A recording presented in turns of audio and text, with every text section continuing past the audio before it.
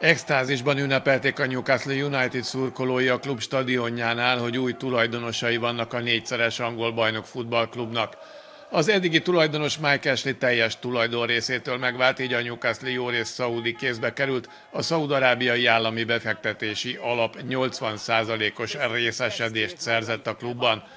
Ez a szurkoló azt mondja, ez élete legboldogabb napja, és az ünneplő tömegre mutatva hozzáteszi, hogy ők az igazi Newcastle.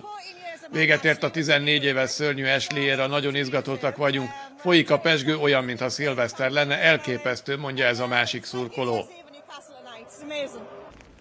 Az Amnesty International jogvédő civil szervezet arra figyelmeztet, hogy a szaudi részvényszerzés valójában pénzmosás.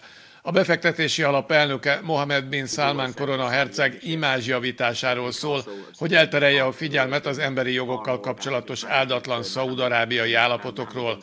Az Amnesty International kampányfőnöke szerint ugyan valamelyest változott a helyzet Szaudarábiában az emberi jogok tekintetében, összességében azonban folyamatosan romlik. Az angol bajnokságot üzemeltető Premier League azután engedélyezte a tulajdonosváltást, miután jogilag kötelező érvényű biztosítékot kapott arról, hogy a Newcastle 80%-ban megvásárló befektetési alap és a szaudi állam egyértelműen elkülönül egymástól.